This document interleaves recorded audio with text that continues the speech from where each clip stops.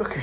Salam əleykum əziz dostlar. Axır ki, nəhayət ki, mən düşünürəm biz canlı yayına girə biləcəyik və bir daha canlı yayın formatına görə üzr istəyirəm, biraz anlaşılmayan formatda formalaşdı və çalışacaq bu canlı yayında məsələni həll edək. Deməli, bugünkü mövzumuz məlumdur. Bugünkü mövzumuz e, bizim əsasən Samir əlavə elədim, səni artıq burada almır. Mən bilmirəm nəyə görə kompüterdə buna icazə verir mənə. Hmm. Salam əleykum. Salam, necəsən Samir, nə var, yox, kef məhvalım. Çox sağ ol qardaş. Mən gördüm çox əlləşdin, çalışdın. Amma nədənsə e, girə bilmədin. Yəqin orada e, ya, mən o gün bir dənə şey deyim. YouTube-da istəyirdim belə kompüterdən elə belə live kimi eləyəm stream. Hı -hı. Gördüm nəsə orada ayarlar məsələsi var. Deyəsən onlar düzəlməlidir. Yox, yox, yox. Orada şeyə çevirməlisən. 2 dənə xətt var. Birini çevirməlisən deməli. E, kamera eləməlisən. Orada connect var, kamera var. Kamera çevirdiyin zaman ayar sistemi birbaşa kameranı qoşursan üçün. Ha, onu mən e, mən başa mən də onu 2-3 günə ancaq şükür demişkən belə başa düşmüşəm ki, bu nə istəyir məndən. Belə təxribat var. təxribat, təxribat. Məncə də. o zaten müasir modda olan sözdür, o düzdür. Ra Ramil yaxşı qeyd eləyib. Sağ olun. Əziz dostlar, hamını salamlayıram.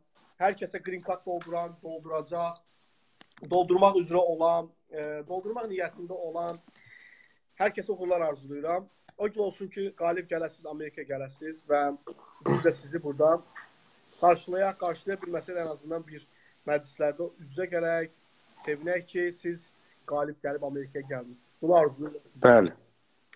Buyur, e, mən hər zamanki kimi ənənəyə sadiq qalaraq Kaliforniyada yaşayan, San Francisco şəhərində səhər saat tezdən 8-də oyanmağa məcbur olan bazar günü Samir qardaşım biraz tez, biraz da tez. Biraz da tez, bəli. Samirlə bir yerdə canlı yayına çıxmışıq. Bugünkü mövzumuz çox vacibdir.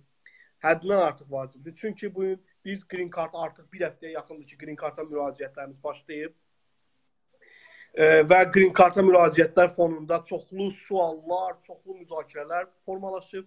Mən özümdə bir qeyd eləmişəm, sualların qeyd dəftəri hazırlamışam. Suallara keçəcəm. Gün ərzində mənə ünvanlanan suallar onları təzədən yenidən detallı olaraq təkrarlamağa çalışacağam. Təbii ki, bu tür suallar Samirə də ünvanlanıb. Mən əminəm ki, Samirin də kifayət qədər zəngin sualı var. Daha sonra biz Green Card-ın instruction, mən bunu çox çoxları bilən bunu heç kim oxumur. Biz o instructionu çalışacağıq ki, geniş izahı ilə, geniş e, e, müzakirələrlə sizə təqdim edək. Samir qardaşımız buna hazırlıq görüb artıq bu instructionla bağlı. Bir də Bəli. ən vacib məsələ dostlar, bu bu bir insanlar arasında biraz çaş çaşqınlıq yaranıb müəyyən məsələlərlə bağlı. Əsasən də bu əgər məsələn mən universitet tələbəsiyəm, hələ qutarmamışam nə yazmalıyam. Mən e, 9 ildə attestasiyadan çıxmışam, kollec oxumuşam və yaxud da ki, texnikum oxumuşam, nə yazmalıyam deyə bir suallar var. Və bu olduqca e, həqiqətən qarışıqlıq yaranıb və bu qarışıqlığa ilə cavab olaraq biz onu müzakirə edəcəyik. Çox vacib məsələdir. Bir ondan başlayırıq. Samir necəsən Əvani? Buyur. Çox sağ ol Əlman. E, yaxşıyam. Sən necəsən? E, bir daha e, dinləyicilərimizi salamlayıram. İzləyicilərimizi onlara da izləyicilərimizi, dinləyicilərimizi, sonra bizi izləyənlərə salamlarımı çatdırıram. Bu çox e, əhəmiyyətli mövzudur. Bizim bu gün danışacağımız mövzu. Mənə elə gəlir nəinki Azərbaycanda. Ramil orada maraqlı şey yazıbdı. mən də oxuyub gülürəm. Bildim ona gülsə, mən də elə ona gülümsədim. Ramil e, tək e, Azərbaycandakı ailələrin elə hamısını demirəm, 10 faizi sizin məsəl üçün o qohumlar kimi Maşallah, burada toplaşa bilərdi. Maşallah olsun əlbəttə ki. Ramil Gil də oradan böyük bir icma yaradıblar. E, yəni örnək örnək örnəkdir. Mən salamlayıram onların hamısını buradan. E, bu bu məsələ Green Card məsələsi e, bu dəqiqə dünyada ən populyar aktual məsələdir. Xüsusilə elə dövlətlər var ki, onların e, orada bu Amerikaya can atan kütlənin sayı çoxdur. Bunlardan biri də təbii ki, Azərbaycandır. Təəssüflər ki. Təəssüflər ki, Azərbaycandır. Amma mən deyim ki, bir bir 7-8 il, 10 il bundan qabağa qədər həqiqətən bizim cəmiyyətdə Green Card barədə məlumat çox, çox cüzi məlumat var idi. Çox cüzi məlumat var. Ya hətta e, green card qalibləri olanda deyirlər ki, hara gedirsən, nə var ya Amerikada? Ki, bu boyda işini, gücünü artırsan falan. E, amma bu gün amma green card qaliblərini sanki bir toy bayramla yola salırlar. Yəni ki, insanlar e, ya sevincin həddi yoxdur. Yaxınlarda zaten mən... bunun e, şahidi olan bir çox insanlar green card artıq Azərbaycan gələnlər, Amerika gələnlər şarla, zatla, yeni həyatında sənə uğurlar zatla. Yəni bunlar artıq Bəli. E, şahid ya doğrudan da belədir. Mən də belə şeylər görmüşəm, belə videolarla insanlar bölüşür. Mən də onunla heç kəsi qınamıram, yəni onlar da oradan da hamının arzusu var, istəyi var, e, gələcək planları var və onların doğal hüququdur insanların miqrasiya eləmək. O da ki, bu normal. Amerika hökuməti sağ olsun ki, həqiqətən, yəni mən insanlara bu şəraiti yaradır. E, mən suallara keçmək istəyirəm Samir. Bəli, elə sual elə onu deyirdim. Sadəcə biz bunu dəqiq bilməliyik ki, nədən başlayıb harda türkəlmiş, harda qutaraq. Deməli, müəyyən suallar olub həftə ərzində. Birinci ondan başlayır. Bax, sual olmuşdu mənə ki, ad soyadı ingiliscə yazmalı yoxsa Azərbaycanda? Samir. Ə, Orada sizin xarici pasportunuzda nə cür göstərilibsə, siz o cürdə yazırsınız. Bəli. Yəni, Hər başqa... bax, mən Samirin dediyini təkrar edirəm xarici pasportda adınız, soyadınız necə yazılıbsa, o cür yazmalısınız. İkinci sual. Yerini dəqiq yazırsınız. Üzr istəyirəm. Last name familiyadır. Aha. Orada yəni bizim Azərbaycanlılar bəzən şey eləyir. First name addır. Aha. Middle name olan bölməni. No middle name yerini tıklayın. Bəli, yəni siz bizdə Azər bunu vurğulayım, bu insanlar çaşdırmasın. O bizim Azərbaycanda bəziləri deyir ata adıdır. Xeyr. Amerikanlarda və bəzi ölkələrdə middle name deyilən bir şey Bəli. var. İspan dilli ölkələrdə də var. Bəli. Ona görə Azərba Türklərdə də var. Azərbaycana bu şamil bəli. olunmur. Ona görə o bölməni seçmirsiniz. Bəli, bəli. Buyur. Türklərdə ona e, göbək adı deyirlər. Bizdə yəni o ənənə yoxdur. Belə bir ənənə yoxdur. Yəni e, bu Bəli, bizdə, bizdə yoxdur. bu ənənə yoxdur. E, şəxsiyyət vəsiqəsi yoxsa pasport nömrəsi? Bax bu belə bir sual oldu. Yəni bu gün mən yəni gündəlik mənə verilən sualları bura təkrarlayıram. Orda 7-ci xanada şəxsiyyət vəsiqəsi nömrəsi yazılmalıdır yoxsa xarici pasport nömrəsi Samir? Təbii ki, xarici pasport, çünki e, xüsusilə burada əgər siz instru instruksiyanı oxusaz, Azərbaycanca instruksiya yadıma düşmədi nədir? Instruction deyək də. Instruction oxusaz, orada e, frequently asked questions var. Yəni tez-tez verilən suallar bölməsi var. Orada xüsusilə yazılıb ki, bax bu cür sualın cavabı orada yazılıb ki, siz özünüzün yerli hökumətinizin verdiyi ID-ni yox, xarici pasport yazmalısınız. Sadəcə pasport. Bəli. Sadəcə. Sonra bu gün bu mövzu bu, bundan qabaqda canlı yana çıxanda çox təəssüf ki, qardaşımızı e, cavab verənmədir. Çox üzr istəyirəm. Donma. İnsanlarda donma deyilən bir anlayış var. Girirlər ikinci səhifəyə keçmir, donur səhifə. Bunun səbəbi nədir? Mən əslində bu səbəbini izah eləmişəm. Yəni səncə bunun səbəbi nədir? Yəni nəyə görə yazır ki, cannot reach right now, cannot reach the, okay. e, səhifəndə page zat belə bir şey yazılır. Bu sadəcə e, veb səhifənin yüklü olmasıdır. Bunun başqa bir şey yoxdur. Və bu siz bunu məcbursunuz ki, dəfələrlə re-enter eləyəsiniz. Yəni bunun başqa adı yoxdur. Heç kim də buna kömək eləyə bilməz, nə də bunu heç bir IT şirkəti sizə kömək eləyəcək. Sadəcə e, dünyada həmin vaxtı e, milyonlarla insan səhifədən istifadə elədiyi üçün səhifə yüklənir. Burada e, mən iki səbəb demək istəyirəm bununla bağlı. Eyni araşdırmamın nəticəsi olaraq birinci əziz dostum, donmaya görə narahat olmayın. Bu tamir demişən yüklənmədir. Biraz səbr eləyin, sonra yenidən girin. Ola bilsin ki, siz girdiyiniz intervalda çoxlu sayda insanlar müraciət edir. O müraciət Bəli. anında çoxlu yüklənmə olur. Yəni çalışın ki, günün e, başqa vaxtlarında müraciət edəsiniz. Bu bir. İkincisi, hı -hı. biraz tez yazın. Bax, mən keçən dəfə qeyd elədim ki, vaxt verilir, müəyyən vaxt var. Biz onu bilmirik. Saytda olma vaxtı. O müddət ərzində siz yazıb doldurmalısınız. Əgər doldurmasanız, sayt sizi atır qırağa. Bəli. Siz birincini yazıb bir saata yazıb doldurursunuzsa, ikinci ikisini görürsünüz ki, səhifəyə keçməlisiniz. Çünki nəyə görə? Çünki artıq o müddət sizə qoyulmuş limit vaxt bitmişdir. Sayt sizi robot olduğunuzu tə tə e, təsəvvür eləyir və ya avtomatik doldurulma sistemi olduğunu təsvir edib ona görə bağlayır sistemi. Bəli. O e, demək sözünə e, əlavə eləyim burada. E, həmin səhifədə vaxt verilir. Bəli, istənilən belə səhifələrdə ə, limitləşdirilmiş vaxt qoyulur. Ə, time duration 5 dəqiqə, 10 dəqiqə olur. Bəli. Və siz əvvəlcədən ə, bilirsiniz ki, hansı sənədlər lazımdır. Şəkilmi hazır qoyun, bilirsə kompüterinizdə hazır olsun, pasport ərizinin altında olsun. Deyək ki, o doğum tarixləri falan 5 əslində bu 5 dəqiqədən artıq çəkən vaxt deyil. Yəni onu mən özüm hesablamışam. 5 ya 6 dəqiqə bitirmək olur. Tamamilə razıyam. Əgər saytda problem olmursa. Sadəcə bunu dəqiq e, tez tez yazıb onu submit edib göndəririz. Yəni Doğru. ikinci söhbət yəni ki, uzatmayın onu. Bir sualımız var. E, Pərvanə xanım verib bizə. Eyni zamanda bu sual da çox mənə müraciət olunub. Green Card-da yaş məhdudiyyəti varmı Samir? Xeyr. Məsələn belə bir müddət varmı yaşla bağlı? Belə müddət ola bilərmi yəni? Yəni yaş məhdudiyyəti necədir? Burada göstərilir ki, təbii ki, e, sizin təhsilinizlə bağlı olan məqam var orada. Yəni ən minimum sizin orta təhsiliniz olmalıdır. Yəni ki, high school diplomanız. Bu o deməkdir ki, siz 17 yaşdan aşağı yəni sərbəst müraciət edə bilməzsiniz. 17 yaş, zaten 21 yaşdan aşağı artıq bunlar dependent kimi gedir və ailə üzvləri kimi, yəni ata-ananın himayəsində olan adam kimi gedirlər. Yəni müraciətin içində gedirlər. Yəni 17 yaşdan yuxarı hesablayın ki, bu mümkündür. Bir də e, 21 yaş rəqəmi var orada. Əziz dostlar, 20 yaşında övladınız da sizlə bərabər verməlidir green card-a müraciət edə. O ayrıca tək müraciət edə bilməz. Hətta o 20 yaş olmağına baxmayaraq. Bunu yalnız saxlayım. Sizlə bərabər Amerika dövləti 21 yaşına qədər uşaq sayılır. Yəni depender sayılırlar. Ona görə 21 yaşından sonra insan şəxs müstəqil şəkildə müraciət edə bilər.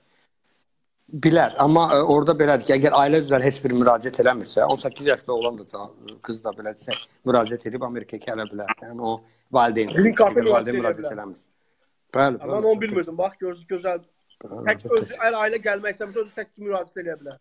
Əlbəttə, bəs ona görə orada yazır ki, ə, əgər ailə gəlirsə, Bu çox vacib ailə üzvləri. Deməli ata, ana, hə, onu deyirəm. bax, Bu məqamlar. Bəli.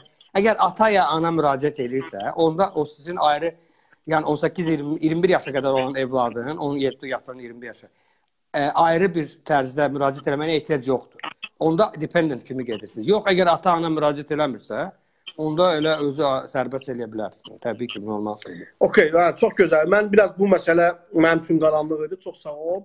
E, mən nəyə görə tez-tez suallara keçirəm? Çünki vaxtımız e, çoxdur, e, daha doğrusu qısa müddətdədir və bizim suallarımız Limit. çoxdur və həm də çoxlu insanların sualları var. 2004 Üzr müraciətində olduqca çox suallar bizə müraciət olmağa başlayıb. E, və biz də bu sualları bir e, qısa bir konsepsiya hazırlamışam ki, hansı sualları verəcəyim. Pasportun müddəti. Bu ümumiyyətlə vacibdirmi pasportun müddəti? Belə bir müddət varmı? Hansı pasportun müddəti var belə bir anlayış? Amerika Pasportun Amerikada hər harda olmasından sonra expiration date var. Bəli. Təbii ki, bu pasportların bitmə tarixi olur. E, bunlar ya yaşla bağlı olur. Üzr istəyirəm. E, və yaxud bəlli bir 5 ildən bir dəyişən pasportlar var. Ona görə yadınızdadır Azərbaycanda əvvəllər 5 Bəli, ildən bir bəli. dəyişən, lap İndi 10 əvvəllər. dedik, bəli. Sonradan hə indi 10 il elədilər. Yəni ki, e, bu var. E, ona görə çalışın ki, pasportunuzun bitmə tarixi, Hı -hı. bitmə tarixi müraciət elədiyiniz vaxtı 6 aydan çox olsun. Hı -hı. Yəni 6 aydan aşağıdırsa, bitmə tarixinə qalmışsa, zaten sizi sistem atacaq. Yo yo yo Qəbul edir. qəbul edir. Yox, elə yox, elə deyil. Çünki siz ki keçdiniz Ha. gəldiniz, həmin vaxtı siz expire olmusunuz. artıq. Yo siz köhnə pasport gətirmə oxumuşam onu. Mən də experience yazdım o şey. Mən bir şey burada elə, elə haşiyə çıxmaq istəyirəm, yəni düzəliş üçün. E, qə- müraciət anında, müraciət günündə heç bir şey ehtiyac yoxdur. E, pasportun bitmə tarixinin önəmi yoxdur. Amma pasport Okay. etibarlı olmalıdır. Yəni müddəti olmalıdır. Yəni başa düşdünüz? Bəs bəs mən Hə. onu onu Amma- onu, onu vurğulayıram Amma əslində. qalib gəldikdən sonra təbii ki, vizaya getdiyiniz zaman azı 6 ay qalmış pasportdan getməlisiniz. Müddətcə sizə pasporta viza vurmazlar. Razıyam. Amma ilk müraciət, biz hələ ki müraciət formasını danışırıq. Yəni, müraciət formasında Aha. təbii ki, e, siz müraciət elədiyiniz gün əgər e, pasportun müddətinə 2 ay qalsa müraciət edə bilərsiniz. Amma Ha, onu mən o cür dəqiq Vizaya qalmış zaman bilmirəm. mən 6 ay bilirdim ona görə. Yox, mən orada o. Olar, olar. Baxarsan orada bu e-mail buna bağlı ayrıca bir şeyə çıxıblar. Elə onu axtarıram, instruction əlini axtardı. amma müddəti getdiyiniz zaman artıq viza almağa getdiyiniz zaman orada artıq minimum 6 ay olmalı. Çünki əks halda sizə pasporta viza vurmazlar. Hə, burada yazır requiring a Bəli, valid bəli. unexpired passport bəli. as secure. Bəli, Okay. köhnə pasportunuzu özünə aparmalısınız ki, mən bu pasporta Ha, o bilirdim. Mən onu mən də Bəli, bəli, bilirəm ki, orada var elə bir Yəni şey. narahat olmayın. Yəni bir ay qalıbsa da narahat olmayın. Müraciət eləyin. Köhnə pasportunuzla müraciət edin ki, okey, mən köhnə pasportuna müraciət eləmək Bu eləmişəm, amma bu hal-hazırda ki, amma getdiyiniz zaman viza almağa, hansı ki, inşallah qalib gəlmisiniz və siz viza almağa, sizin pasport müddəti ən az 6 aydan çox olmalıdır. Əks halda sizə viza vurmayacaq pasportunuza. Bu zaten vizalarda da belədir. Yəni əgər vizanız varsa və pasportun müddəti keçibsə, yeni pasportla birlikdə köhnə o viza valid viza ilə iki pasportla gələ bilərsən insanlar, Amerikaya. insanların çoxlu sualları olurdu ki, bununla bağlı. Mənim pasportum bitməyinə bir ay qalıb. Mən müraciət edə bilərəm yoxsa yox? Eləyə bilərsiniz dostlar. Sizin pasportunuzun bitməyinə hətta bir həftə qalmış belə siz müraciət edə bilərsiniz. Narahat olmayın. Amma çalışın ki, özünüzü sığortalayasınız ki, yeni pasportunuz Yeah, olsun. amma yəni ki, insanlar müddətli çox olsun. Əlatsızlarsa, yəni tutaq ki, geri pasport almaq. Aydındır məsələ. Yəni ki, maksimum dərəcədə mən qanun ki, özünüzü Bəli, razıyam. özünüzü sığortalayın. Ki, ailənin bütün üzvlərinin qeyd edilməz bu əlbəttə ki, mütləq şəkildə. Nəinki ailənin mütləq. üzvləri. Hətta hətta sizin öncəki ailədən olan övladlarınız belə qeyd olunmalıdır əziz dostlar. Bu olduqca vacib məsələ. Zaten mən buna indi gələcəm. Bax, Düzdür. əgər siz boşanıbsınızsa və sizin statusunuz deyək ki, boşanmazsa, siz övladlarınızı birinci nikahdan olan övladlarınızı qeyd eləməlisiniz. Əgər siz Bəli. boşanıbsa, amma siz yenidən nikaha girmisinizsə, siz yeni ö- yeni nikahdan olan övladınızla yanaşı əvvəlki nikahdan olan övladlarınızı da qeyd eləməlisiniz. Şəkillərini, Bəli. şəkillərini qeyd eləməlisiniz, yeni şəkillər çək çəkdirməlisiniz onlar üçün və onların danlarını qeyd eləməlisiniz. Bəli, onlar sizdən getməyəcək Amerika, bunu bilirik. Amma qeyd eləməlisiniz. Bu mütləqdir. Gedirəm. Burada sual olub ki, e, kimsə getmək istəməz. Əlbəttə kim burada ümumiyyətlə green carddan məcburiyyət yoxdur. Getməyə Heç kəs məcbur olmur. Amma ailə üzvləri e, qeyd olunmalıdır ki, nə qədər ailə üzvü var. Nə qədər neçə nəfər var, bunlar qeyd olunmalıdır. Üzr istəyirəm. Burada e, bir xırda deyim. Burada instruksiyada 14-cü bənddə number of children Okay, orada. E, sən deyənlər orada yazır be sure to include. Yəni əmin olun ki, kimlər hansı evladlar Daxildir, bəli. Bəli. Öz evladlarınız. Adopted, yəni ki, oğulluğa, qızlığa götürdüyünüz. Övladlığa Bəli. götürdüyünüz. Və yaxud ola bilər kimsə evlənib ki, evləndiyi adamın evladı var. Bəli, step daughter, step, Step, bəli. buna bəli. step children Bəli, deyir. bəli. O da hətta daxil olmalıdır. Bəli. Yəni ona görə evlad əgər üstünüzdədirsə onu mütləq daxil eləməlisiniz. Fərqi yoxdur. Sizindir, götürmüsüz, e, sizə sonra gəlib fərq eləmir. Buyur. Deməli bir dənə sual olub ki, e, getmək istəməsi və övladların hansısa başqa ölkə təhsil. Yenə də övladınız təhsil ala bilər ölkədə. Amma burada 21 yaşı yaddan çıxartmayın. Sizin 21 yaşından yuxarı övladınız varsa onu qeyd eləməyə ehtiyac yoxdur. Övlad Bəli. anlayışı yalnız 21 yaşına qədər övlada aiddir. Yalnız və yalnız 21 yaşına qədər övlada aiddir. Bu bir. Keçdik digər məsələ. Samir, no oçin vacib məsələyə. Kinoru deyirik. Buyur. Nəyə? Deməli, e, bildiyin kimi müəyyən insanlarda biraz çaşqınlıq var. Hətta mənə belə şəkillər atıblar, yazışmalarım, paylaşımlarım, e, altından qırmızı xəttlərlə çəkilmiş formada, sonra mən sənə göndərirəm bunları. Vacational school-la bağlı. Adam deyir ki, mən 9 Bəli. il attestat almışam. Daha sonra isə college təhsili və yaxud da ki, texnikum təhsili almışam. Mən nə yazmalıyam?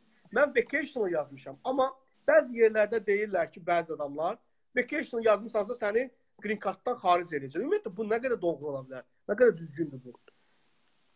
E, Elman mən də 1-2 dənə bax belə bu tipli suallar alırdım, açığın deyim, vacational. Ona görə məcbur oldum sadəcə bir balaca araşdırma aparmağa və Wikipediyada vocational school anlayışının açıqlaması var. Bəli. Vocational school ə, Şərqi və Mərkəzi Avropa ölkələri, yəni Azərbaycan daxil olduğu üçün deyirəm. Hı -hı. Azərbaycan da həmin ə, kontinentə daxil olduğu üçün Bəli. orada konkret olaraq yazılıb. Vocational school nədir? Keçmiş esserdə PTU deyilən bir şey vardı. Biz sənə müzakirə Bəli, bəli. eləmişdik bunu. Texniki peşə məktəbləri və hal-hazırda kollec bildiyimiz texnikum. Bəli. Vocational School-un açıqlaması budur. Yəni siz 8-ci 8 illiyi bitirmisinizsə vaxtı ilə 9 ildir. Sonra əvvəllər Sovet vaxtı Səkkiz, 8 doqquz. elə insanlar var Bəli, 8-də də qutarıb. Bəli, İndi onlar da müraciət edirlər. Doğru. 8 və ya 9 fərq eləmir. Bitirmisinizsə, siz getmisiniz kollecə və ya texnikuma, peşə təhsili almısınızsa, onun diplomunu göstərəcəksiniz. Yəni o vocational school həmin onu qeyd eləyəcəksiniz orada. Burada heç bir çaşqınlıq olmaz. Ümumiyyətlə bu onlar bunu vacational yəni əlində diplomu olan adam vacational müraciət etdiyi üçün onun e, vizanın verilməməsi üçün səbəb ola bilərmi? Belə bir ümumiyyət iddia nə qədər doğrudur?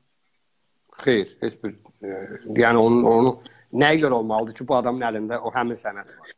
Ya mən bunu bitirmişəm, bunu Çünki orada göstərirəm. belə bir müddəa var. Mən bir dənə qeyd edeyim. O müddəa nə idi? Orada yəqin ki mən yenə deyirəm, e, bayaqları canlı yayımda bunu bildirdim. E, Samirlə müzakirədə bunu demişik. Ola bilsin insanların qanunvericiliyi düzgün şəkildə şərh etməməsinin səbəbidir. Yəni oxuyurlar, Bəli. amma düzgün şəkildə şərh etmirlər. Orada yazılır ki, əziz dostlarım, o qırmızı xəttlərlə mənə göndərdiyi şəkillərdə. Orada da yazılıb instructionda. Minimum high school diplomun olmalıdır. Minimum. Bəli. Və vacation school'un varsa da onu qeyd eləməlisən. Baxın, əgər sizin attestatınız varsa əlinizdə, siz narahat olmayın. Siz zaten ora getdiniz, biz siz kimə aiddir? O adamlar ki, bizim ölkələrə aid deyil. O adamlar ki, deyək ki, Şərqi Afrika ölkələri, Cənubi Afrika ölkələri təhsil almayıblar. O adamlar yalnız hansısa bir peşəyə gediblər, oradan bir sertifikat alıblar. Orta təhsilləri yoxdur. Bizim ölkədə belə bir şey mümkün deyil. Hər kəsin orta təhsili var. Çünki bizim ölkədə orta təhsil icbaridir. Yəni məcburi. Hər bir kəs alır bunu. Bəli, bəli hər bəli. kəs məktəbə getməlidir. Hər kəs təhsil almalıdır. Bax buna görə də bizim bəzi dostlarımız, nə bilim, yoldaşlarımızın qanunu şərh edərkən bu müddəaları yadlarından çıxardırlar. Yadlarından çıxardırlar ki, bu Azərbaycana aid ola bilməz. Azərbaycanda zaten minimum high school educational attestat olacaq. Bu minimum Mütləq. olacaq. Çünki niyə görə? Çünki biz biz icbari təhsil alırsan, sən minimum 9 il təhsil almalısan. Düzdür. Burada e, deməli instructionda e, Demək bu tək Azərbaycana aid deyil axı. Biz bilirsiniz Azərbaycan qlobal qlobal məsələdir.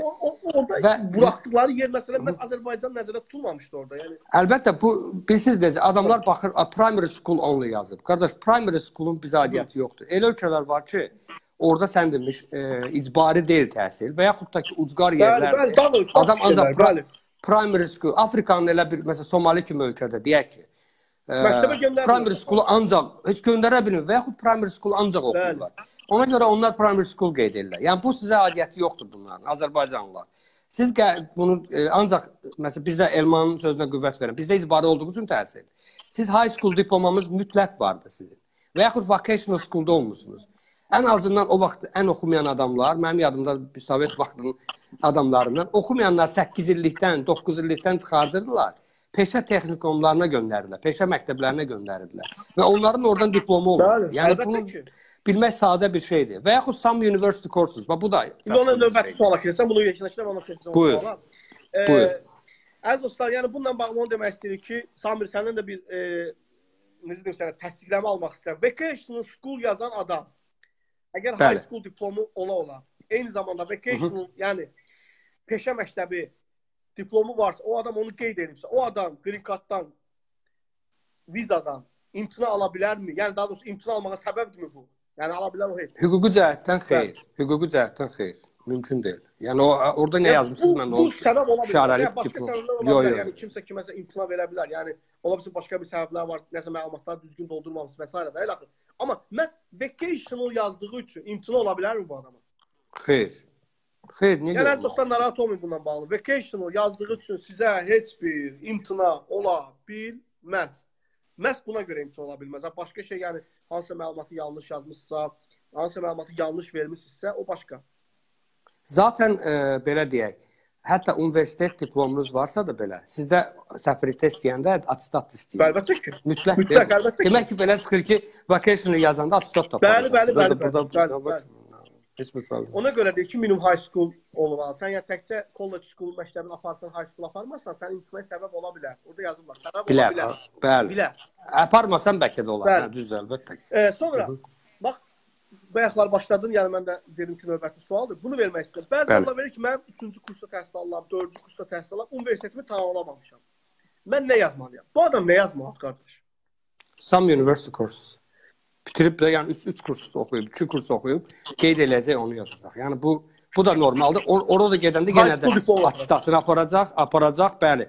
Bir də universitetdən oxuduğu təhsil ocağından, fakültədən gedib hə, hal-hazırda oxuduğu barədə kağız alacaq. Mən hal-hazırda deyək ki, Bakı Dövlət Universitetinin regionşünaslıq fakültəsinin 3-cü kursunda oxuyuram.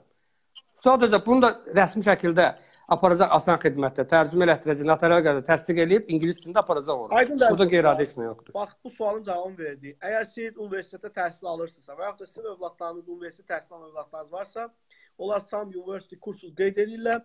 Zaten getdiyiniz zaman öz diplomlarınızdan bir yerdə ora gedirsiniz. Yəni e, söhbət gedir məktəb diplomları, attestatlarınızdan və təbii ki, e, davamlı şəkildə e, universitetinizlə bağlı da sənəd aparırsınız sizi Təhsiliniz təhsilinizlə bağlı təhsilini taparsınız, onu qəbul edirlər. Yəni burada bu da imtinaya səbəb ola bilməz məsələdir.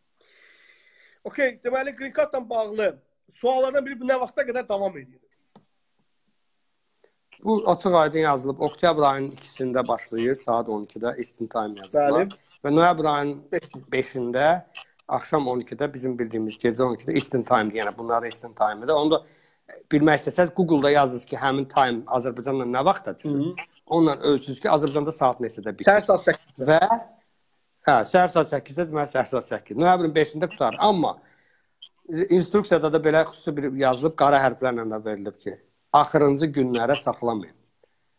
Axırıncı günə saxlamağınız məsləhət görülmür. Nəyə görə? Çünki saytlar yüklənəcək və siz fail ola bilərsiniz. Bəli, bəli. Yəni ki, bu artıq keçə Bəli, bilməz. tamamilə Buyurun. razıyam. Yəni qeydiyyatdan keçmək istəyən insanlar, dostlarımız buyurub qeydiyyatdan keçə bilərlər. Biraz çalışın ki, biraz e, daha rahat, sakit vaxtlar seçəsiniz.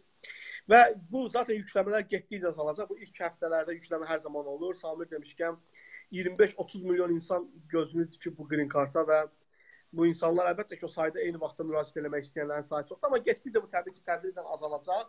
Amma sona yaxın insanlar artıq daha çaşdaq, daha tez Onun sona yaxın yükləmələr oldu və sizin girmək Elə olur da, o praktikdir. E- Experience-dən götürürlər də onlar. Bəli. E, əvvəlində çox olur, bir də Axırında, axın olur. Bəli. Yəni şəkillər, şəkillərlə bağlı danışmaq. Sami şəkillərlə bağlı nəsə qeydlərin, fikirlərin varmı şəkillə bağlı? Mən e, yenə də deyirəm, şəkillə bağlı e, hər şeydə gəlin belə danışaq ki, qaydalara müraciət edək. Yəni biz özümüzdən, yəni Elman, nə mən özümüzdən Amerika kəşf eləmirik. Amerika. Amerika yox. State Department-in hə, Amerika State Department-in belə desə issue verdiyi e, instructionda yazılıb. Your photo or digital image must be necə olmalıdır? Rəngli, yəni şəkil rəngli olmalıdır. Fokuslanmış, yəni insanın baş görüntüsü Qulaq, göz, hamısı, bəli. hamısı görsənməlidir. Əgər sizin imicinizdə saqqal saxlamaq varsa, saqqalı qırxmağa ehtiyac yoxdur. Çünki bu sizin həyat tərzinizdir. Doğru. Çünki e, elə insan elə ölkələr var ki, orada məsələn müsəlman ölkələri var. Elə lap elə istənilən bir ölkələr var. Orada kişilər saqqal saxlayır. Qadınlar baş örtüyü bağlayır. Siklər, məsələn, Baş ört- Hindistanda siklər olar. Var, hər yerdə var, əlbəttə ki. Yəni hər ölkənin özünə məxsus qaydada geyim və e, beləsi image tərzi var. Ona görə də əgər sizin bu image'inizdirsə, o cürdə gedin.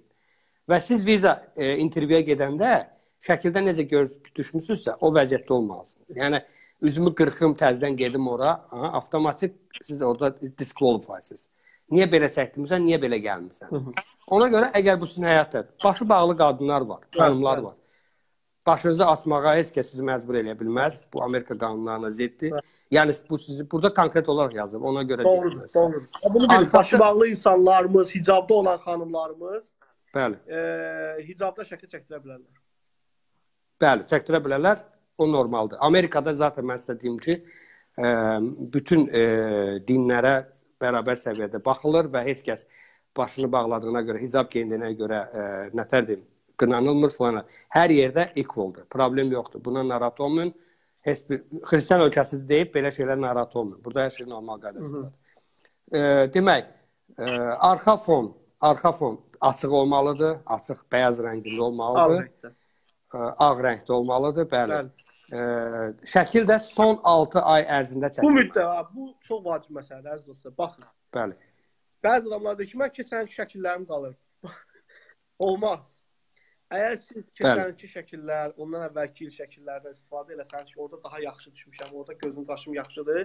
Bəli. Bu sizin birbaşa bu olmuş bir hadisələrdir, inanın. Birbaşa sizin imtinaya səbəbdir. Əgər qalib gəlsəz çox təəssüflənəcəksiniz. Çünki şəkilə görə imtina ala bilərsiniz. Şəkil son 6 ayın şəkli olmalıdır. Mütləq ki 6 ayın Mütləq. şəkli olmalıdır. Mütləq ki. Və professional şəkildə gedin, xahiş edirəm bu foto studiyalara, bu cür filmlər, nə nə. Gedin orada professional şəkildə 1 manat, 2 manat, 5 manatdır. Verin professional şəkildə şəkil çəkin. Evdə özünüzdən komediyalar kəşf eləməyin. Bu olduqca özünüzü riskə salırsınız bu şəkillərlə bağlı. Okay, hansısa kimsə professional aparatı varsa, özü çəkə bilərsə başqa. Yəni özü o fonu yarada bilərsə, o çəkib iş, üzərində işləyə biləcəksə, arxasında kölgəni yığışdıra biləcəksə, o başqa. Amma Doğrudur. sən əgər ki, bunları heç bir eləmək iqtidarındaysan, sən telefonla şəkil çəkib, iPhone-la istəyirsən ki, qoyasan, bunu bunu yadından çıxar. Bu çox ciddi bir məsələdir. Bir də ciddi bir bəli, dövlət ciddi. sənədidir. Green card çox ciddi bir dövlət sənədidir. Bu sənin üçün, həyatın üçün yaşıl kartdır və buna görə məsuliyyətli yanaşmalısan. 5 manatından keçməyə dəyər. Sual, Mütləq. Ə, bir dənə sual var. Əslində biraz bəlkə qəribə səslənə bilər, amma sual səsləndirəcəm. Çünki Elman bir dəqiqə üzr istəyirəm. Burada 2 dənə də haşiyə var. Onlar bunlar qeyd ediliblər. Mən ona görə deyirəm. Deməli, ya, xüsusilə yazır. Görünür ki, bu praktikada olmuş şeydir. Headphones, qulaqçıqlar, wireless, o belə taxırlar və yaxud eynək. Bunlarla şəkil çəkdirmək icazə yoxdur. Ola bilməz bu. Görünür ki, bunu bunu bunlar praktik Bəli. yazırlar. Biz Amerikanlar experience-ə çox baxırlar. Bəli. Təcrübədə olmuş şeylərdir və onlar qeydiyyat aparırlar. Ona görə də burada xüsusilə yazırlar. Ay insanlar, bu şeylərdən şəkil çəkdirib bizə göndərməyin. O qəbul olunmayacaq. Buyur qardaş. Ə, sağ olsun Ramil. Vallahi Ramil sən bizim bu gün əməlli başlı ciddi verilişimizə əlavə bir rəng qatırsan. Həqiqətən çox sağ ol. Ramilin sözündə həqiqət var. Mən elə adamlar e, asılı eşitmişəm. yəni praktiklə salla qapıya, amma yəni yəni 5 manat nədir ki, həqiqətən gedib professional çəkməlisən. Yəni sözü biz daha Ola bilər də indi bilsən Elman birinin imkanı olmaya bilər, edə bilər. Amma, yəni bu da yəni, istisna deyil, amma yəni 5 bu əlbəttə razıyam. Yəni 100-200 dollar deyir ki, yəni okey, mən razıyam səndən. Adam bilmir udacaq, udmayacaq. Amma 5 manat elə bil ki, bir dənə siqaret, adam siqaret almaq üçün ki 10 10 manatdan çox pul xərcləyir. Bəli. Gedin ailən, bir də sual verin. Mən uşaqların təzə şəkil çəkdirməliyəm. Bax, qəlbə, vallahi ilə mənə ki, belə qəlbə suallar verirlər. Elə ki, bir dənə bu ancaq buna aiddir təzə şəkil, uşaqlara aiddir. Baxın, əziz dostlar, ola bilsin ki, sənin uşaqların və yoldaşın getməyəcək. Hərçənd ki, bunu eləyənlər və bu cür müraciət edənlər mənə var. O adamların şəxsi işdir. Mən heç kim şəxsi işə qatışmıram. Okay, Bəli. amma sən təkcə səhər şəkil çəkdir, uşaqlara, arvadı uşağa səhər şəkil çəkdirməmək böyük bir. Qəbahətdir, imtinaya səbəb ola bilər. Sən və sənin yoldaşın, uşaqların hamıya, hətta bir günlük körpəniz varsa belə, bir günlük, onun şəklini Ha, elə onu deyəcəydim. Elə onu deyəcəydim. Bəli, mütləq. E, demək, e, xüsusilə burada qeyd olunur ki, e, evladlarınızın fotolarını çəkdirərkən, çünki hamının evladı ayaq üstə durub çəkdirmir ki, birini ki, təzə anadan olur, biri 5 aylıqdır, 3 aylıqdır. Bunun üçün bəli, arxasına Ramil demişkən, arxasına ağ belə belə desək, örtük qoyulur. Uşaq deyək ki, ə, uzadılır belə arxası üstə və yenə dediyim kimi e, üz cizgiləri sifəti tam düşməyinə telefonla çəkib və yaxud əgər uşaq kar sitdə otura bilirsə, kar sitin arxası ağ fonda eləyib orada da çəkə bilərsiniz. Yəni bundan narahat olmayın. Bu körpədir. O onlar onu bilirlər. Ona yəni bir günlük belə uşağın şəkli çəkilməlidir. Onu demək istəmirəm. Mütləq. Ona ona görə deyirəm. Sənin sözünə qüvvət deyirəm. Bəli. Qeyd etdiyiniz müddətdə bir günlük belə uşağınız varsa, onun şəkli çəkilməlidir. Okay, amma siz qalib gəldik, müraciət etdikdən sonra sizin övladınız olsa problemdir, narahat olmayın. Yeni sənədlərlə bağlı ora apara bilərsiniz. Ora müraciət edərsiniz, onlar orada özləri artıq əlavə edəcəklər o məsələləri. O proses tamam başqa bir prosesdir. Amma sizin müraciət etdiyiniz günə qədər övladınız dünyaya gəlibsə, o övladı mütləq şəkildə mütləq şəkildə o övladı şəklini çəkməlisiniz. Sonra sən bununla bağlı bir müraciətdə olub, indi bunu səsləndirəcəm. Biraz qəribə səslənsə də, bu hərçənd ki, mənə ünvanlanmış sualdır. Deyir ki, mən və yoldaşım ailə ayrılıqda müraciət etmək istəyirik. Bizim bir dənə övladımız var. Biz Bəli. eyni şəkli istifadə eləməli, yoxsa hər birimiz müxtəlif-müxtəlif övladımızın şəkillərini çəkməliyik? Yəni, eyni şəkildə. Cəmisi də eyni şəkildə. Ailə sizdə bu iki dəfə gedib ayrı paltarda çəkdirib qoyarsınız. Yəni o qorxu insanlarımızı başlayıram. Həqiqətən də biraz çox şey var, biraz qorxu qorxular var insanlar. Çünki miflər çox. Miflər çox. Miflər çox. Razıyam. Miflər və çox təəssüflü. Miflər çox. Bəzən bu mifləri yaradanlar da professional adamlar olur. Yəni bir növ bu işdən məşğul olan adamların yaratdığı miflər olur. Belə bir miflər yaratmaqda maraqlıdırlar. Ki səni ləğv edəcəklər, kim verdisə ev yıxıldı, kim gəldisə bu il getdi. Yəni dəqiqləşdirməmiş, araşdırmamış, qorxuzmaq, əsasən bu şəkillərlə bağlı çoxlu miflər yaradırlar. Mən görürəm, yəni görmüşəm də. Hı -hı. Bir də üzr istəyirəm, bir dənə bayaq aşağıya çıxım, üzr istəyirəm e, Elman. O bayaq dedin ki, o donur ə, e, sistem, donma məsələsi. Burada onunla bağlı instruksiyada belə bir şey yazılıbdı. Onu mən elə outline eləmişdim ki, sizə deyim okay, oradan. Okay, bəli. Burada yazır ki, xahiş edirik köhnə brauzerlər, bu Mozilla, nə bilim, hə, onlardan istifadə etməyin. Çünki məsəl üçün Internet Explorer 8 bu artıq köhnəlmiş versiya sayılır. Ə, və ola bilər də insanlar məsəl üçün elə az Bakının özündə də köhnə kompüteri var açacaq ki, hə mən burdan bunu qeyd eləyim. Bu dondu və yaxud keçmədi. Yoldaşlar, ona görə keçmir ki, sizin kompüterinizdə proqram update, upgrade olunmuyor. siz ən son versiyanı eləsəz, mənə elə gəlir ki, bu bunlar minimum mənəcəkdir və bu siz bu məsləhət görülür ki, mütləq yeni versiyada eləyəsiniz. Bunu əlavə elədim. Buyur. Başqa kimlərsə var orada altına xətt çəkib bir qeyd eləmək istədikləri. Çünki mən suallarımı yavaş təsdiq yəni hə şey eləmişəm bitirmək üzrəyəm. Sənin başqa nələrsə var orada altına xətt çəkib qeyd elədiyin, göstərmək istədim. Var, var. Mən bir dənə maraqlı bir şey deyəcəm. Burada bir Vital İsayev qardaş yazıb. Salam, Amerikada uşaq pulu verilir. Yəni sualdır, yəni Bəli. necə? Başa. Yəni Amerikada uşaq pulu, ə, uşaqlar ümumiyyətlə Amerikada hökumətin qayğısındadır. Yəni ki, əgər belə bir şey var. Əgər valideynlərin ə, gəlir, burada gəlir minimumu var. O minimumdan aşağıdırsa gəlirləri, təbii ki, dövlət uşaqların uşaqlar üçün yeməli e, Medicare verirlər, e, food stamp verə bilərlər, cash aid verə bilərlər. Yox, əgər o minimumdan yuxarıdırsa, onda valideyn himayəsində hesablanır və uşaqlar valideynin himayəsində hesablanır. Yəni dövlət ona pul verir. Bir də əlavə bir hakimiyyət bununla bağlı, e, əziz dostlar, məktəbdə də eyni zamanda ailə ailə gəliri aşağıdırsa, məktəbdə də siz e, uşaqlara yemək pulsuzdur. Uşaqlar yeməyə görə pul ödəmirlər və məktəbdə pulsuz yerilir. Adətən belə yeməklər 20 dollara başa gəlir. Yəni aylıq təxminən 20 dollar, 3 dollardır bir dənə porsiya yemək. Yəni belə yəni bir porsiya yeyəcək yemək. Hə, təqribən 3 dollar, 4 dollar civarında olur bir gün. Onu da dövlət özü ödəyir, yəni. Əgər sənin Bəli. gəlir, sənə bir şey göndərirlər, e, Forma, application, application forma göndərirlər. Bizə də həll olun göndərirlər. Onun da vaxtı var Elman. Oktyabrın əvvəlinə qədərdir. Ona qədər mütləq doldur. Bizdə Kaliforniyada belədir. Oktyabrın 5-nə qədər. Belki belki onu vaxt qoyurlar. Əlbəttə ki, due time qoyurlar, yəni limit vaxtı. Due time bəli. Onu gəlib doldurub e, göndərəsən. E, və keyfiyyətli də yeməklər verirlər. Çox deyim uşaqlara. Rami, Rami, yəni qardaşım mən əminəm ki, e, valla qohumlarıma Kaliforniyada yer yoxdur, yoxsa ümumiyyətlə Amerikada yer yoxdur. Yəni Virginiyada yer var. Yəni birdən onları yönləndi bu tərəfə. Yenə Kaliforniyada bağlayıblar. Deyirlər ki, Ramilin qovlarını dadı yox. Yəni qardaşım Allah sənə var eləsin. Həqiqətən əziz dostlar, çox insanlarımız, çox dostlarımız, yəni kim gəlmək istəyirsə fərqi yoxdur. Hər kəs üçün qapımız, bacamız açıq. Şəxsən mən özümdən danışıram. Virginiyanın qapısı bacası ya, yəni onu demək istəyirəm. Virginiyanın qapısı bacası açıqdır. İstənilən adam gələr, yaşaya bilər və iş şəraiti də ailə əslində ailəli insanlar üçün. Ailə şəraiti də olduqca həqiqətən olduqca yuxarıdır burada. Olduqca təhlükəsizdir. Kaliforniyada eynən bilirəm ki, elədir. Mən xəbər almışam, yəni məktəblər də 8-9 baldır.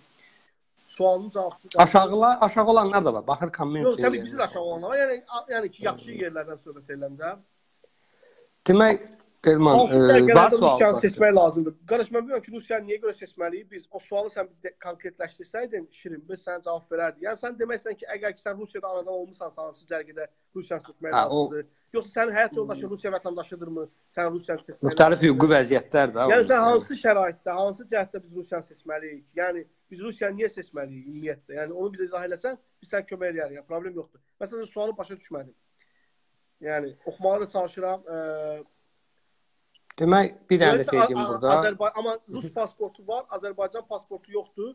Azərbaycan vətəndaşı deyil. Azərbaycan pasportu yoxdur deməli adam Azərbaycan vətəndaşı deyil də Rusiya vətəndaşıdır. O adam Rusiya Rusiya vətəndaşı. Russian Federation. Bəli. Onu seçir. Rusiya vətəndaşı kimi müraciət edir. O Azərbaycan vətəndaşı kimi müraciət eləmir adam.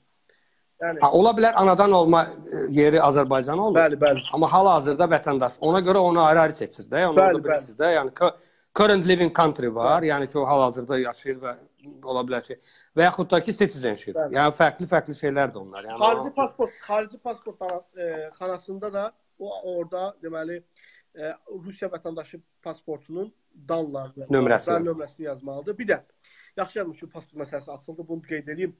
Əziz dostlar, orada B bəndi var, B bəndi.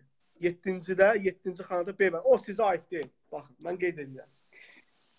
Mənə çoxlu suallar olunur ki, Mənə çox suallar ki, biz bu beybənddən nəyi seçək? Siz heç nəyi seçmirsiniz. Əgər sizin Azərbaycan Respublikası xarici pasportu varsa, sizi o beybəndlə əlaqəsi yoxdur. Bəs o beybənd Hə, B, B yoxdur, düzdür. Bəli. O beybənd o adam üçündür ki, o adamın vətəndaşlığı yoxdur, vətəndaşlığı. Yəni adam nə Azərbaycanın vətəndaşıdır, nə Rusiyanın vətəndaşıdır, nəsə hansı bir ölkənin vətəndaşı.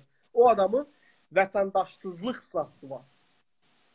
Yəni konkret olaraq heç bir ölkənin vətəndaşı deyil. Dünyada belə insanlar Stateless. çoxdur. Dövlət döv mənsubiyyəti yoxdur. Bəli, dövlət belə bir insanlar yox. çox dünyada. İkinci, ikinci bənd nədir? İkinci bənd o idi ki, o B bəndilər.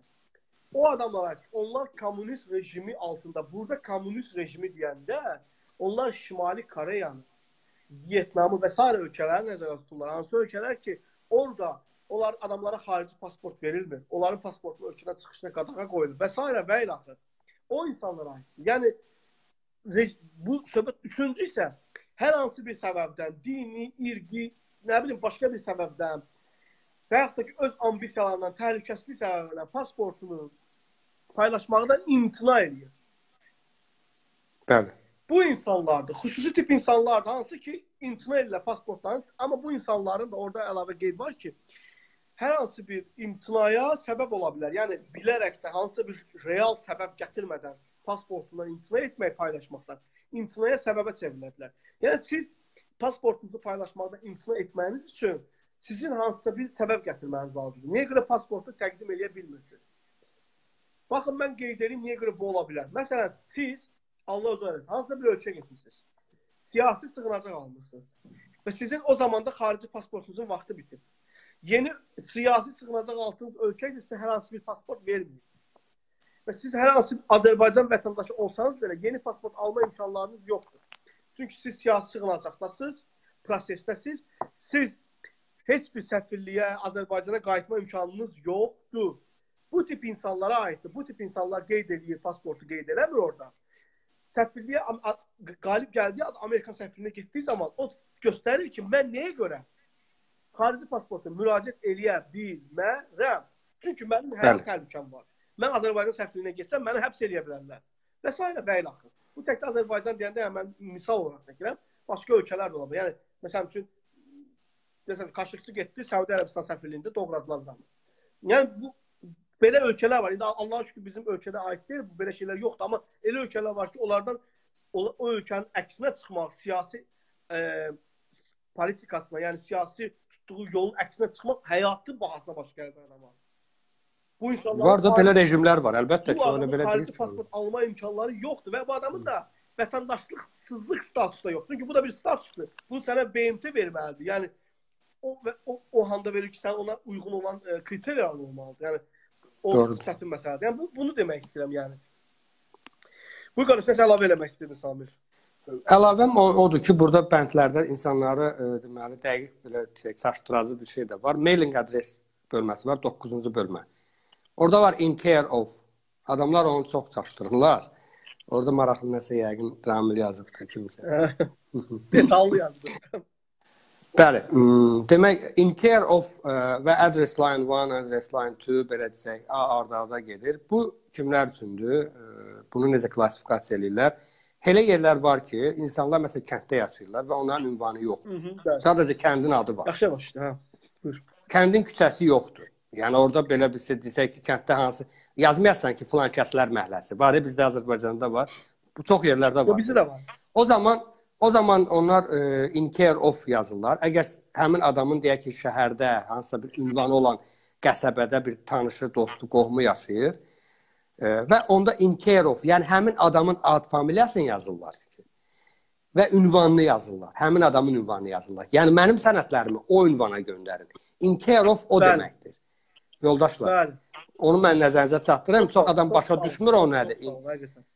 Hə, Inkerofu orada niyə görə qeyd Buradan başlamaq adres yazmaq. Mən onlara deyim ki, oradan başlamırsınız. Bu B bəndindən başlamalıdır adres yazmaq. Adres line. Bəli, əgər sizin actual, yəni sizin həqiqətən doğru bir ünvanınız Bakıda, Sumqayıtda harcıya yaşayırsınız var, onda Inkerofu boş buraxın. Başlayın adres line-dan. Birdən. Orada da nə yazır? Küçə, küçənin nömrəsi, ikinci hissədə isə mənzil apartment, APT deyək ki, neçə yaza bilərsiniz. City, town, bir də district, country, province, state. Bu Azərbaycana aid deyil. Bəli. Baku yazdısa elə Bakıdır. Yəni yaza bilərsiniz Nəslimi Nərimanov, nə o şey deyil. E, yanlış deyil, amma yazmasaz da olar. Onun narahat olmayın. Zip kodu bilirsinizsə yazın, bilmirsinizsə altda yazın ki, anla. Zip kodları bu ən çox verilən post indeksi, post indeksi. Poç, Post indeks. Poç indeksi. Bunu hardan öğrenmək olar? Bunu gedirsiniz qeydiyyatda olduğunuz ərazi üzrə poçt idarəsinə. Onlar sizə poçt indeksini təqdim etməlidir və ya da bununla artıq bağlı saytlar var Azərbaycanda. Adres var, necə Rabitə Nazirliyi post post indeksinin axtarış bölməsi var. Bəli. Siz ad ünvanı yazın, orada çıxacaq hansı poçta aidsə. Aydındır. Rabitə Nazirliyinin post, post indeks axtarış axtarış bölməsi var orada. Yazınız. Google-da vuran kimi çıxır. Post indeks axtarış vurun, o dəqiqə çıxacaq sizə o link. Linkə girin, öz ünvanınızı yazın, o dəqiqə sizə həmin anda göstərəcək hansı post posta aidsiniz. Onu göstərir. Post indeksiniz budur. Yəni zip kod siz çaşdırmasın, bu sadəcə post indeksidir. O vaxtlarda məktubun altında yazıldı azı 11, 18, məsələn belə bir şeylər yazılırdı. Azını da yazmaq bəli, lazımdır. Bəli, azını yazmaq lazımdır. Mütləq bu post Təsad indeksin özüdür əzizdir. Yəni bəli. orada bütün rəqəmlər indeksin özüdür. Yəni o sizə o cür gedir. Ümumiyyətlə Amerikada zip kod əzbərdən bilir. Yəni burada hamı zip kodu əzbərləyir. Yəni biz Amerikanlar üçün bu adi bir şeydir, amma Azərbaycanda biz o qədər istifadə eləmirik. Burada mütləqdir. Onu bilməsən sənin ünvanına heç nə gəlmir. Burada kartları bəzi yerlərdə benzin doldurmağa getsən, benzin doldurma yerlərində sənin e, zip e, pin kodlu istəmir, zip kodlu istəyir. Mən bütün deyirəm. Bəli. Yəni benzin doldurma məntəqələrində sən biz də Amerikada özün doldurursan da Amerikada yəni. Bəli, bəli. Kredi kart salanda istəyir. Bəli, kredi kart salanda bəzi yerlərdə hətta debit kart salanda zip kod istəyir. Yəni sizin o 4 rəqəmli olan digital e, pin kodunuzu istəmir. Sizin mən zip kodunuzu istəyir ki, zip kodu yazın. Hansı zip koddasan. Yəni ona görə e, bu Amerikada bu çox vacibdir, amma Amerika Azərbaycanda da var. Bu poçt indeksi də olsa özü qorxuzmuyun. Yəni bu belə qeyri-adi bir şey deyil. Qeyri-adi deyil. Və poçt indeksinin yazılması şərtdir. Çox xahiş edirəm, özünüzə əziyyət verin. Samir dediyi kimi girirsiniz bir dənə e, ünvana o e, Rabitə e, Nazirliyinin Rabitə Rabitə və Yüksək İnformasiya Texnologiya Nazirliyi adresinizi yazırsınız və sizə zip kodunuzu verir. Yəni indeksinizi verir. Sonra 9-cu bölmədə country where you live today. Gəl bir bölmə bölmə 14 bölmədə qısaca deyək bunları çünki bu Bayaq o qardaş sual vermiş ki, mən Rusiya vətəndaşı falan. Orada 9-cu bölmə yazılır. Country where you live today. Yəni hal-hazırda sizin yaşadığınız ölkə. Bu kimlərə Azərbaycanda aid ola bilər? Azərbaycan vətəndaşıdır, Rusiyada işləyir, Ukraynada işləyir, Belarusiyada işləyir. Yəni orada yaşayır. Hal-hazırda o müvəqqəti qeydiyyatdadır. O onları çaşdırmasın. Yəni orada 9-cu bölmədə yazır Russian Federation məsəl üçün və yaxud Ukraine. O bölməni seçəcək. Amma citizenship-də Azərbaycan göstərəcək. Yəni onu onu yəni, Azərbaycan vətəndaşlığı. Onun bəli, əgər varsa. 10-cu bölmə e, telefon number, yəni telefon nömrəniz optional. Optional nə deməkdir? İstəyinizə uyğun olaraq. Amma mən məsləhət görərdim yazasınız. Ola bilər siz e-maillə sizə bir elə bir e, səfirlikdə tutan intervyudan keçmisiniz. Hansısa bir sənədiniz lazım olubsa əlavə, sizə e-mail yazırlar. Əgər e-mail sizə çatmırsa, onda onlar avtomatik telefona mesaj göndərirlər. Hmm. Ona görə siz yazın telefonunuzu. Yəni optional deyib üstündən keçin. Telefonu yazın deyəndə də, əziz dostlar. Telefon nömrənizi qeyd edin. 994 55. Belə yazmalıdır. Bəli, plus 994 50 55 12 nə istəyirsiniz yazın. İndi hansı operator işlədir, yazmalıdır. Amma üstə gələk 994 mütləq şəkildə yazılmalıdır. Mütləq, bəli. 11-ci bölmə e-mail adres, yəni elektron ünvanınız şərtli mütləqdir. Hansı ki siz ondan hər gün və yaxud hər hansı bir yazışmada istifadə edirsiniz. Passwordunu da itirməyin, çalışın yadınızda qalsın bu dövrdə. Çünki vacibdir. Sizə o unique kod, hər bütün məlumatlar elektron ünvana gəlir. Yəni sizin e, dövlət departamentindən başqa əlaqə saxlayacaq və yaxud onun sizinlə əlaqə saxlayacaq yeri yoxdur. Yalnız elektron ünvan burada gedir. Bu barədə diqqətli olun. 12-ci bölmə danışdıq bu barədə e, təhsildir. Bunu keçirik. 13-cü bölmə current marital status, yəni ki, hal-hazırdakı sizin ailə vəziyyətiniz. Ha, bunu danışacağam elə. Düz dedin elə yaxşı oldu. Bax bu ona görə deyirəm. Mə məqablar var, xırda-xırda. Düzdür, vaxtımız da kəsatdır, başa düşürəm. Bu bununla Deməli, unmarried subaysınız. Təbii ki, subaylar bunu seçəcək. İkinci bölmədə yazılır. Dəqiq, subay məsələsini qeyd edilir. Evlənməmiş subaylardan söhbət gedir. Heç evlilik etməmiş subaylar. Evlilik Bəli. etməmiş subaylar. Çünki nəyə görə? Çünki bundan sonra deyəcək nəyə görə? Buyur. Bəli, orada bəli məqamlar. İkinci məsələ. Evliyəm, həyat yoldaşım ABŞ vətəndaşı və ya green card holder deyil. Bəli.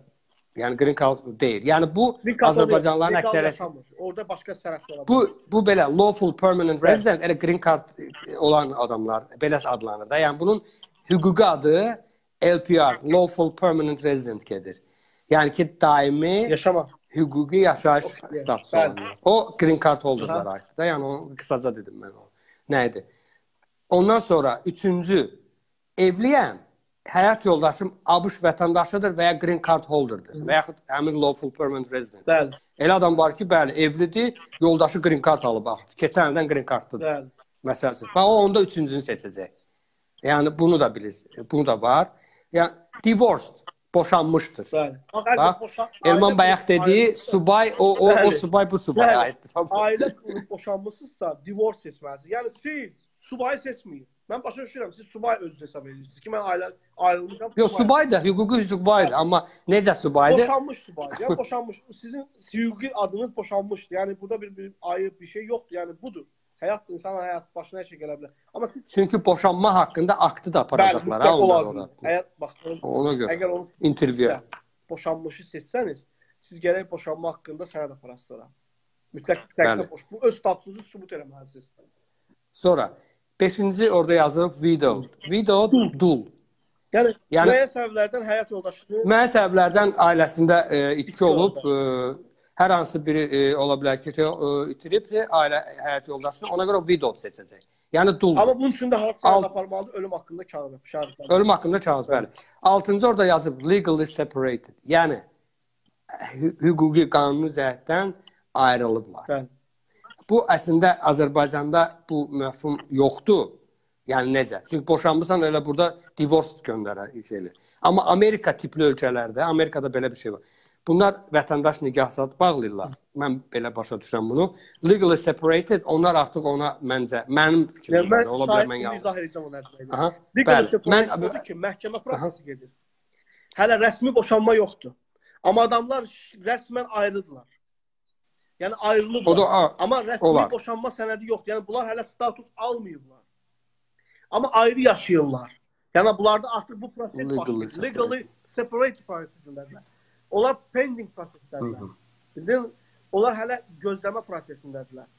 Onlarda Aha, hələ ol- ol. o- bu yəni bu məhkəmənin ə- qərarı olmalıdır. Yəni siz əgər legally separated seçsəniz, məhkəmədən sənəd gətirməlisiniz ki, proses gedir. Yəni sizin hələ boşanma prosesiniz tamamlanmayıb. Artıq Azərbaycanda Yəni mən- 6 ay, üç ay- Məntiqi cəhətdən hədəf siz ə, ayrı Bəli, yaşayırsınız, siz o da ola bilər, amma ayrısınız. Yəni bu adam mənim həyat yoldaşım deyil. Çünki mən məhkəməyə müraciət eləmişəm boşanmağa. Düzdür. Əslində Azərbaycanda bu hüquqi cəhətdən bunu həyat yoldaşı sayılır hələ də. Amma bu belə bir legally separated, yəni qanuni ayrılıblar. Məhkəmə o sənədi verir ki, bunlar qanuni ayrı qalıblar, amma biz hələ müəyyənləşdiririk. Bunlar boşanacaqlar yoxsa yox. Hələ tam boşanma prosesi tamamlanmayıb. Bu da bizim kimi ölkələrə aid deyil. Bu Azərbaycanda belə bir şey hüquqi e, belə bir e, nümunə yoxdur, açıq deyim. Bəlkə də yox, mən ona görə deyirəm Bəli. ki, bu bizə aid deyil. O, Bu əsas bu ölkələrdə aid. Avropa ölkələrində bu proses var əslində. Əslində legal separate nəyə görə? Ona görə mən düz deyirsən. Mən onu ona gətirdim. Sadəcə sən bölünməsi, varisliyin bölünməsi prosesi var. Varisliyi bölürlər o zamanda yəni ev kimə tutacaq, maşın kimə tutacaq, nə qədər pul kim alacaq, nə qədər pul kimə tutacaq, e, mülkiyyət necə bölünəcək. Bu proses uzun bir prosesdir. İddia olur, bir-birinin tə- o buna iddiaçı olur, bu buna iddia qaldırır. Yəni bu olduqca o qədər uzun bir ailə prosesi məsələsidir ki, ailə prosesi məsələsidir. bəli. Yəni ona görə bunlar bu müddətdə bir yerdə yaşamaq imkanları yoxdur. Bunlar bu müddətdə legally separated statusuna keçirlər. Yəni qanuni ayrı yaşayırlar. Və bu proses tamamlanmadığı üçün bunlar divorce sayıla bilmirlər. Proses çünki tamamlanmayıb. Onlara tam, divorce üçün sən gərək sənəd aparasan. Boşa nikahın pozulması haqqında şəhadətnamə Azərbaycanda bu var. Allah uzaq etsin, belə bir şəhadətnamə var. Nikahın pozulması haqqında şəhadətnamə. Yəni bu Bəli. proses bu şəhadətnaməni aparırsan, sən təqdim edirsən və onda sən sübut edirsən ki, sən boşanmısan. O o əlində o sənəd olmayacaq, sən boşanmış statusun yoxdur. Okay, sən rəsmi ayrı qala bilərsən, boşanmış statusu yox. Yəni bu ona aiddir. Yəni onu demək istəyirəm. E, başqa buyur elə keçək bənd başqa bəndlərə. Elə e, onu e, deməli legal separateddən keçdi. Yəni bizə Azərbaycana aidiyyatı yoxdur. Bu bizim ölkəmizə aidiyyatı yoxdur. Onu demək istirdi. Elman elə mən də ona dəstək oluram. E, demək Azərbaycanda ola bilər ki, e, hər hansı bir ailədə burada nəyə görə deyirəm onu? E, spouses olan bölmədə, yəni ki, sizin həyat yoldaşınız. Ola bilər ki, ailədə e, deyək ki, nəsə ayrılma var, amma rəsmi heç bir şey yoxdur və yaxud prosesdədir. Ə, Əgər siz o zaman yox mən boşanıram statusunda yəni deyib ailə ə, həyat yoldaşınızı ora qeyd eləmirsinizsə, sabah siz intervyuda mütləq dis disqualify imtina olacaqsınız. Tamamilə razı. Çünki həmin həmin dövrdə hüquqi statusunuz evli olur. Əlbəttə ki. Əlbəttə ki. Ya ola bilər insandır da. Bəli, bəli, yox. Əsəbindən mi yazmaya bilər? Çox adamlar bunu eləmək Hə. istəyiblər və mən yəni e, Olub praktikada olub, ona görə yəni, deyirəm. eləmək- Eləməsinlər. eləmək Yazsın ora həyat yoldaşım.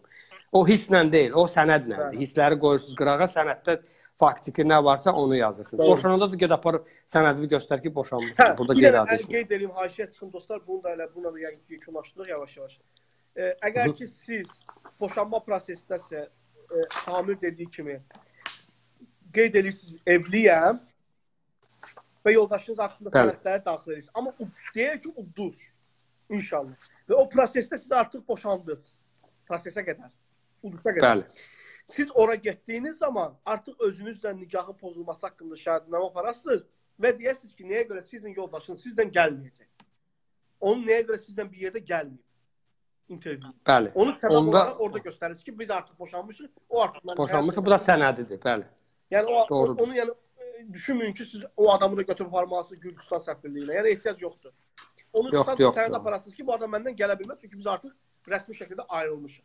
Bu pr- prosesdə amma o zaman biz evliydik. Okay, amma indi ayrılmışıq. Yəni 6 ay, 7 ay vaxt keçib biz artıq ayrılmışıq. Belə bir qərar gəldi. Elman, bir dənə də e, vacib məqamı qeyd eləyəcəm. E, bununla da yəqin ki, bəli. Ə, demək ə, eligibility requirementlər var. İki cür eligibility requirement. Əvvəldən yazır instruksiyada. Orada bir bir məqam mənim diqqətimi çəkdi və ə, ən çox verilən sualların cavabında orada yazılıb konkret olaraq nədir bu? Requirement 2-də yazır ki, ə, müraciət edən şəxs, şəxsin son 5 ildə 2 il iş təcrübəsi olmalıdır. Bu iş təcrübəsi də həmin işin adı da Amerika Dövlət Departamentı, Amerika e, demək Əmək Nazirliyi, Labor Department-in e, Onet Online adlı bir bazası var, Aha. data baza. Bilmirəm sən bilirsən yəqin ki, bilməsən. O Onet Online-da hər bir vəzifənin işin adının klassifikasiyası var. Yəni iş vəzifə nədən ibarətdir? E, deyək ki, vəzifənin öhdəlikləri nədir, nədir, nədir? Aha, vəzifələr, aha. Burada yazır ki, və bunu nəyə görə yazır bu requirement-də? Yəni ola bilər ki, biri green card sahibi olub və heç bir işi olmayıb. Adam işləməyib, falan eləməyib və burada nə yazır? Çox maraqlı bir şey mənim diqqətimi çəkdi. Ona görə deyirəm insanlara. Əgər siz işləməmisinizsə və bu həmin o klassifikasiyada göstərilən vəzifə öhdəlikləri, vəzifənin adı və yaxud ona o ekvivalent işlər göstərilməyibsə, siz disqualify oluna bilərsiniz. Çox maraqlı şey yazıblar. Yəni buna çox adam fikir vermir. Sən özün də açıb bir instruksiyada oxuyarsan onu. Mən sənə onu e, ataram sənə e, PDF-lə. Konkret olaraq yazılıb orada. Yəni ki, siz əgər Amerikanın tələb elədiyi işlər var da, iş vəzifələr var. Hər sahədə ola bilər. Hər sahədə fərqi yoxdur. Amerikada gəldi işləyirsən də. Əgər sizin işiniz olmayıbsa və siz heç vaxt işləməmisinizsə, son 2 ildə ümumiyyətlə işləməmisinizsə, rəsmi olaraq ha. Çünki siz rəsmi faktla aparıb göstərməz, mən işləyirəm və yaxud işim buna ibarətdir. Onlar sizin işləməməyinizi bəhanə gətirə bilərlər. Bax, bunu burada yazıblar bunlar. Onu yəni bilirsiniz ki, dostlar, sonra demirsiniz ki, mən işləmədim, məni atdılar, deyirdiniz belə oldu, amma burada konkret olaraq requirement-də yazılır. Yəni bilər, Tələblər. yəni bu ehtimal var. Yəni ehtimallardan biri, imtina səbəbləri imtahanlardan biri də budur. Yəni bəzən buna bu da Mhm. imtinaya səbəb ola bilər. Mən razıyam Samirlə. E, bir məsələ danışmaq istəyirəm. Bu da sual da oldu burada. 50-dən sual oldu bizə.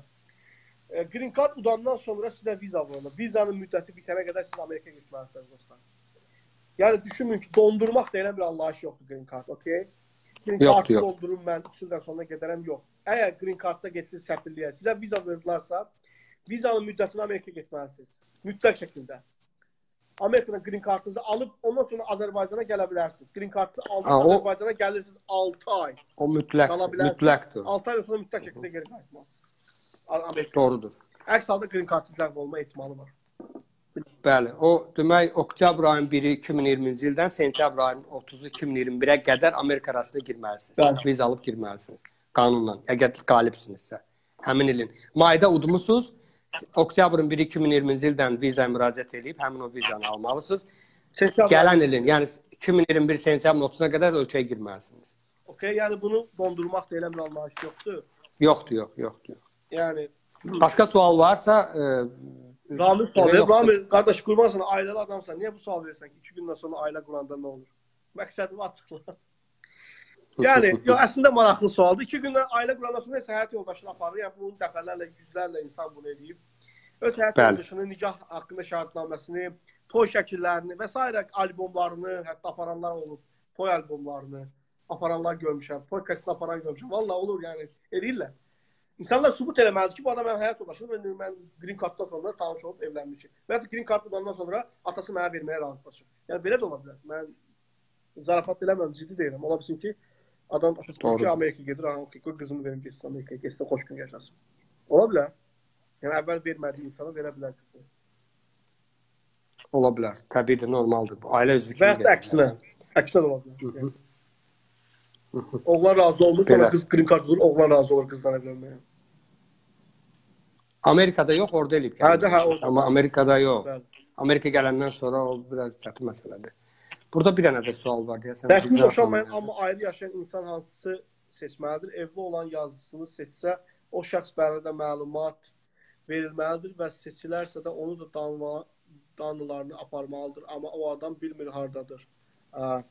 Deməli, seçməlidir şəklini də qoymalıdır əslində. Bax budur. Bax legal separated budur məsələ. Mən bir dənə qeyd edim, əgər ki məhkəməyə müraciət olunmuysa, rəsmi ayrılma siz rəsmi ayrılma deyilən bir anlayış o sizin öz ailə aranızda olan bir məsələ olmamalıdır. Rəsmi ayrılma dövlət səviyyəsində olan bir məsələdir. Yəni məhkəmə sizi rəsmi ayrılmış elan etməlidir. Doğru. O olmayana qədər siz evli sayılırsınız. Ola bilsin rəsmi ayrı yaşaya bilərsiniz, amma siz evli sayılırsınız. Bu bir. Ev, amma çox maraqlı bir şeydir ki, Hı -hı. Evli şə evli bəndini seçməlidir. Adam haqqında şəkilin, məlumatları əgər tapa bilmirsə, köhnə şəklindən də istifadə edə bilər. Amma bununla bağlı hansısa bir məhkəməyə müraciət etməlidir. Niyə görə məhkəməyə müraciət etmir? Müraciət etsin boşanmağa, müraciət etsin boşansın. Əgər adam məhkəmə 6 aydan sonra zaten boşayacaq. Həmin boşanmadan sonra adam o boşanma sənədinin bir də səhvliyə qeyd edə bilər ki, mən ona görə bunun köhnə şəklini qoymuşam, bu səbəbdən bunu mən gətirə bilməmişəm. Məncə bu da burada yoxdur. Burada e, 13-cü bölməsi instruksiyada yazılıb ki, you must list your spouse İngiliscə deyib sonra yazılıb bir cümlədir. You must list your spouse even if you are currently are separated from him or her. Gördüm. Yəni əgər hal-hazırda baxmayaraq ki, siz onunla ayrı, ayrı yaşayırsınız, öz həyat yoldaşınız must must ingiliscində mütləq qayda deməkdir. Yəni siz onu daxil etməlisiniz. Bəli. Unless you are legally separated. Bəli. Baxmayaraq ki, Yəni, yəni rəsmi şəkildə boşanmamışsınız da, legal ayrılmamışsınız beləcə. Bəli. Yəni o qayda var. Amma legal separated cümləsi bu bizimkilər səhv başa düşürlər. Legal separated, legal sözü qanun çərçivəsində olmalıdır. Yəni siz qanun, qanun. Məhkəmə bəli. məhkəmə o statusu verə bilər sizə legal separated status. Yəni siz özünüz biz ayrıldıq deyən bir özdə status müəyyənləşdirə bilmərsiniz ailə içində. Başa düşdünüz? Onu siz ailə içində ayrılmısınız, ayrı-ayrı qala bilirsinizsə, o evlisiniz yenə də siz. O zamana qədər ki, məhkəmə sizin haqqınızda bu qərarı verməyənə qədər. Okay. Dəqiqdir. Burada da elə yazılıb, bizə də legal separation is an arrangement. Yazır nəyə görə o yazır? Is an arrangement when a couple remain married but live apart. Ayşə. Hal-hazırda evlidir, ayrı yaşayır following a court order. Gördün? Məhkəmə qərarı olmayana qədər onlar ayrı yaşayır, onlar legal separate. Mən sənə bu məhkəmə prosesi legal separate məhkəmə prosesinə aid bir məsələdir. Yəni mən bunu dəqiqləşdirib öyrəndim demişdim bayaqlar, qeyd elədim onu. Bəli. Dostlarımız bu məsələyə qayıdıb yerinə qulaq asa bilərlər. Bunun video yazısını paylaşacağıq. Videonu çalışdım götürüb YouTube-a qoyam, paylaşam. Ə, və hər kəsə də uğurlar arzulayıram. Suallarınızı sonra cavablandıracağıq. Əziz dostlar, çox sağ olun bizimlə bərabər oldunuz. Sami buyur sağollaş qardaş, biz də sağollaşaq yavaş-yavaş. Çox sağ olun, hamıya təşəkkür edirəm. E, maraqlı bir mövzu oldu. Hər hansı bir sualınız olarsa yenə də bizə yazın. Çəkinməyin. Yetər ki, siz doğru məlumatları daxil eləyəsiniz ki, sonra problemlə üzləşməyəsiniz. Sağ ol Elman. Sənə də yaxşı. Özünüzə müğayət olun. Xoş gün arzulayıram. School ünvanlara olun, tam qaydasındadır. Arzulara, xəyallara, Amerika xəyallarına davam. Sağ olun, özünə müğayət olun. Sağ olun. Hələlik. Sağ olun. Sağ olun.